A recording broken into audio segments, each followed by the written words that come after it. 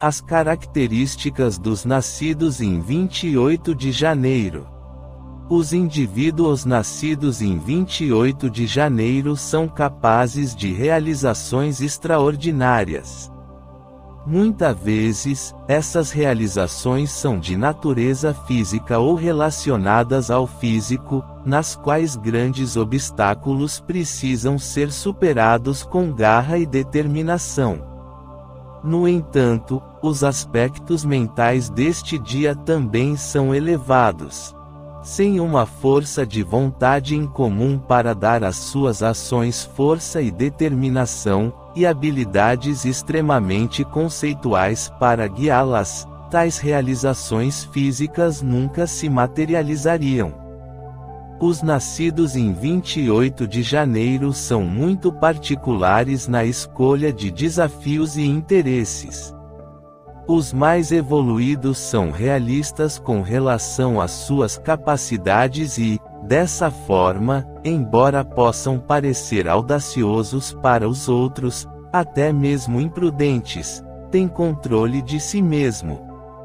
Os menos evoluídos não alcançam sucesso pela razão oposta, uma avaliação irreal de suas capacidades somada a uma autoconsciência ou uma pretensão destrutiva em relação a si mesmos. Muitos nascidos em 28 de janeiro se contentam em ficar sentados em casa, lendo sobre acontecimentos emocionantes ou assistindo-os na televisão, participando ocasionalmente de esportes, eventos artísticos e entretenimento emocionantes. Tais pessoas ficaram com a melhor parte, ao seu ver, uma vez que podem sentir emoções indiretamente, sem se arriscarem. No entanto, inevitavelmente, até estas pessoas observadoras necessitam se ver como pessoas emocionantes na vida real e dessa forma, com frequência, se envolvem em questões para as quais não estão preparadas. Seria melhor que servissem de modelo inspirador para sua família, amigos e colegas, assumindo status de herói pela forma simples e decente com que lidam com suas questões no dia a dia e com os grandes desafios ocasionais que o destino lhes reserva.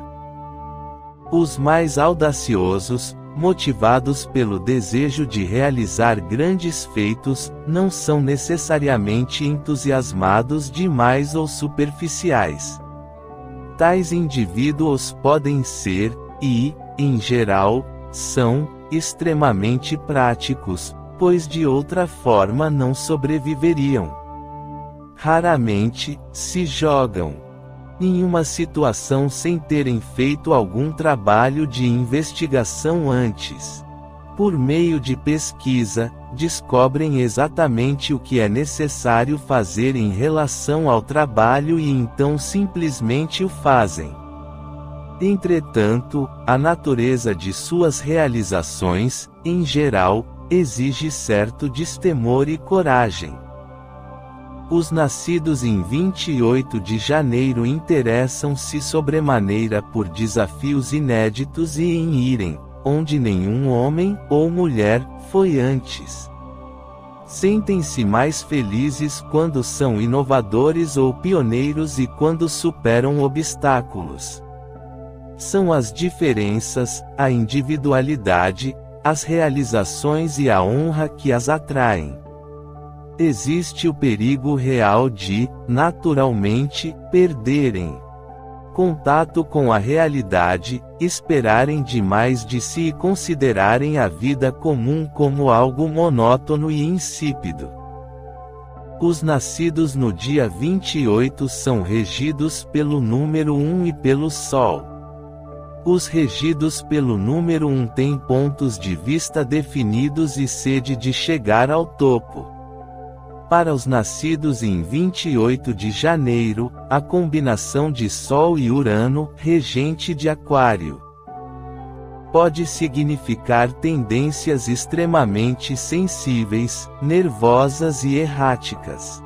O Sol simboliza energia criativa e intensidade, que devem ser mantidos em um fluxo constante, ao invés de explosões descontroladas e esporádicas, este caso ocorre com maior frequência com os nascidos em 28 de janeiro devido à influência desestabilizadora de Urano sobre o Sol.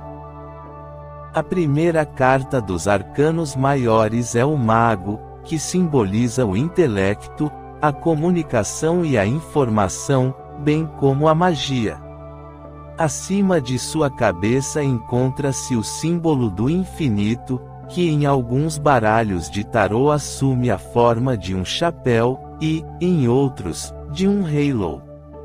Várias interpretações podem ser estabelecidas, uma das quais é que o mago reconhece a natureza cíclica e infinita da vida e seu poder advém dessa compreensão.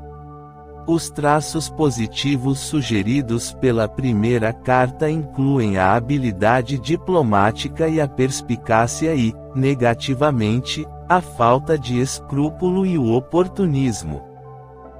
Os nascidos em 28 de janeiro podem ter todo tipo de dificuldade com o sistema nervoso até que consigam controlar sua natureza nervosa. Desenvolver a força de vontade e a autoconfiança são essenciais e, assim, um curso para adquirir autoconfiança, yoga ou uma disciplina espiritual ou religiosa pode ser útil ou necessário. Os nascidos em 28 de janeiro também podem ser propensos a acidentes, particularmente quando deixam suas energias dominá-los. Ter um companheiro ou amigo que seja equilibrado e calmo será de enorme benefício e complementar a sua própria natureza menos centrada. Em geral, os nascidos em 28 de janeiro interessam-se por guloseimas, o que pode ser bom para sua saúde pela variedade nutricional. Exercícios regulares moderados são recomendados. Não desista facilmente. Não seja facilmente levado pela última novidade. Tenha calma e paciência e uma ideia realista de suas capacidades. Olhe antes de pular.